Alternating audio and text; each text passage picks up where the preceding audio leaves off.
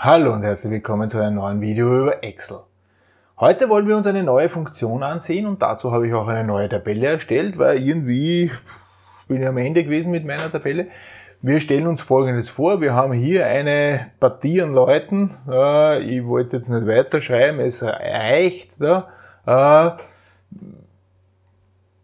die haben alle kopiert. die haben alle kopiert und jetzt möchte ich wissen, wie viel Kopierkosten sind denn da aufgelaufen? Okay, wie viel Kopierkosten haben wir aufgelaufen? Ah, das ist, pass auf, dann mache ich wieder eine Summe, haben wir gesagt, gell? Summe ist gleich, fangen wir immer eine Funktion an, gell? Und dann Klammer auf. Das. 221,40 Euro. Das ist die Annahme jetzt. Meine Annahme 221,40 Euro sind die Kopierkosten. Aber jetzt sind nicht alle Leute, ich bin der Chef von der Abteilung, stellen wir uns vor, ja, ich bin der Chef und nicht alle von diesen Leuten sind bei mir, ja, in meiner Abteilung. Jetzt können wir sagen, okay, Abteilung, tragen wir das ein, gell? Und, und A, die sind andere Abteilung, die sind bei der Chefpartie, das ist natürlich meine, ja, die Chefpartie, äh, Chefpartie, Chefpartie, äh, andere Abteilung, andere Abteilung,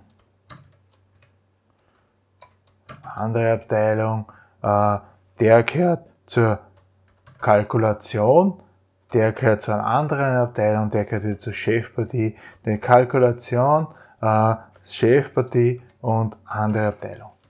Das ist es. Jetzt möchte ich wissen, wie teilt sich das auf auf die einzelnen Abteilungen? Hm. Ja. Wenn ich jetzt hier zum Beispiel sagen will, ich will nur von der Chefpartie das wissen, nur von meiner Abteilung. Wie mache ich das? Ich, meine, ich kann natürlich, ich kann natürlich sagen, ist gleich das plus das plus das plus das plus das. 122 Euro. 122,80 Euro hat die Chefpartie ausgegeben. Schauen wir vielleicht nur gesamt her.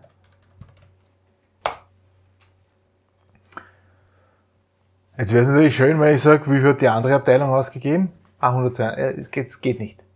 Es geht so nicht. Ah, deswegen gibt es hier eine Funktion. Und diese Funktion ist gleich also wir können auch wieder da oben anfangen mit den Funktionen. Ja? Fangen wir vielleicht einmal so an. Summe wenn ist schon ausgewählt. Warum ist das ausgewählt? Weil ich es relativ häufig verwende, weil die gefällt mir. gefällt mir? Okay. Bereich. Da gibt es jetzt folgende Sachen da drinnen. Es gibt einen Bereich.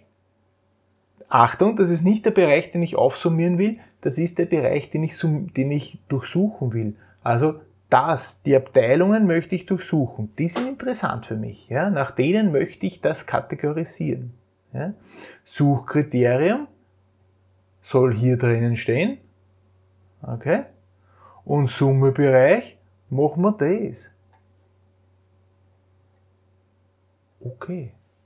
40,50 Euro. Und wenn ich jetzt Chefpartie eingebe, 122,80, genau das gleiche, was ich gemacht habe.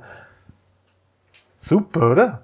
Summe wenn heißt dieses, heißt diese äh, Funktion. Also wenn im, Suchbe im Suchbereich, äh, klicken wir nochmal eine da, schauen wir uns das an. Hier haben wir den Suchbereich. Wenn im Suchbereich irgendwo das Suchkriterium vorkommt, dann wird die entsprechende der in dieser Zeile geht auch mit Spalten, so gescheit ist das, ja, äh, aufsummiert. Das ist nicht Leiwand. Sicher ist das Leiwand. Sogar super. Ja. Und jetzt kann ich das, was passiert jetzt? Pass auf, jetzt machen wir A, Chefpartie und Kalkulation. Und jetzt ziehe ich das over.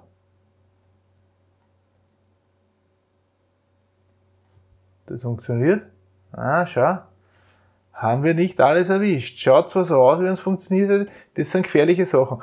Deswegen muss man da immer ein bisschen reinklicken und jetzt müssen wir überlegen, was wollen wir verschieben? Was wollen wir verschieben?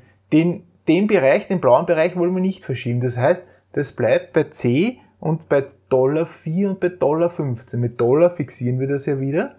Den lilenen Bereich wollen wir auch nicht fixieren. Das wird wir auch wieder niedergedollert, ja, zusammengedollert.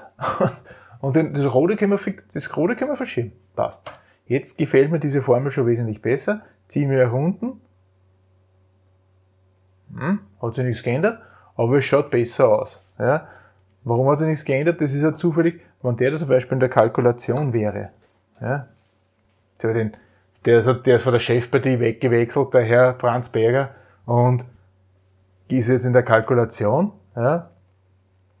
Äh, und ich, ich gebe die Dollars nur mal weg, weil jetzt müssten wir nämlich einen, einen Unterschied sehen. Nur, dass wir auch sehen, nämlich, manchmal macht man Fehler und fällt gar nicht auf. Pass auf, jetzt fällt er runter. Ja. Jetzt hat die Kalkulation nur 58,10 Euro. Warum? Weil es in Franz Berger gar nicht mit dabei hat. Ja? Die Chef, bei der Chefpartie fällt das nicht wirklich auf, ja? weil da oben das, was fehlt, der gehört jetzt zu einer anderen Abteilung oder die Dame gehört dann zu einer anderen Abteilung. Ja? Die, die würde sowieso nicht in die Summe fallen. Ja? Aber also man kann Fehler machen, es funktioniert trotzdem, aber wenn es irgendwie anders ist, funktioniert es nicht. Ja? Deswegen sollte man immer da irgendwie reinklicken und sich das ansehen, wie das denn aufgebaut ist und welche Bereiche, das wird ja von Excel eh sehr schön hervorgehoben. Ziehe das over. Jetzt passt wieder. Weil jetzt ist die Summe, habe ich auch noch gleich, gleich, gleich hergezeigt, wenn man mehrere Felder markiert, sieht man rechts unten die Summe dieser Felder. Das ist ganz angenehm. Ja, das ist also Summe wenn. Summe wenn. Wie viele Personen da drin sind und so weiter, das werden wir das nächste Mal, das nächste Mal uns ansehen. Äh, wenn wir probieren, so Durchschnitte, Durchschnitte, durchschnittliche Kosten, nennen wir es durchschnittliche Kopierkosten pro Abteilung, Gesamt und pro Abteilung und so weiter zu berechnen. Ja, arithmetisches Mittel einfach. Schauen wir, wie das funktioniert. Für dieses Mal herzlichen Dank für die Aufmerksamkeit. Auf Wiedersehen.